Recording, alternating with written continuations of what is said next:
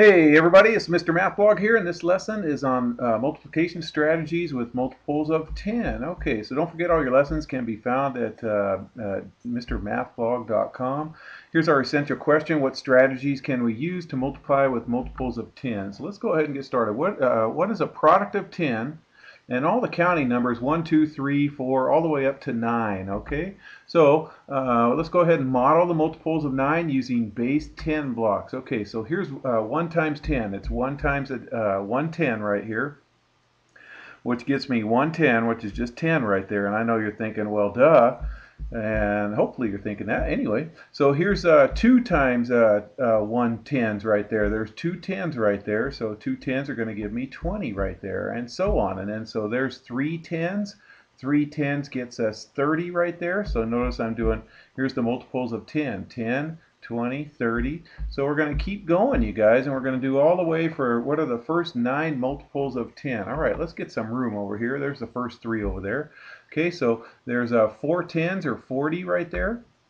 There's five tens or 50, six tens or 60. Okay, let me rearrange that. So there they all down there. So there's our seven tens, there's our eight tens, and there's our nine tens right there. Okay, all right.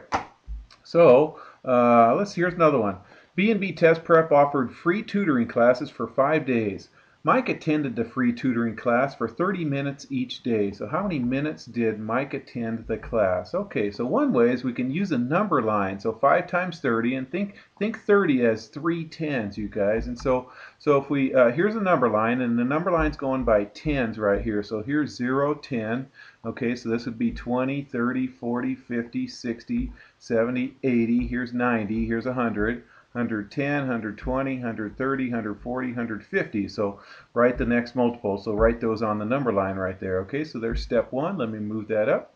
Okay, and then uh, step two, draw jumps on the number line to show five groups of three tens. Okay, so here's one jump of three tens right there. It takes us to 30. Okay, so there's um, uh, three tens. There's one ten, there's two tens, there's three tens right there. Notice the number line's going by tens right here, so when I do three of them, it's going to jump 30. So here's the second jump right there. That's going to take us to 60. Here's the third jump, so I'm just going by threes.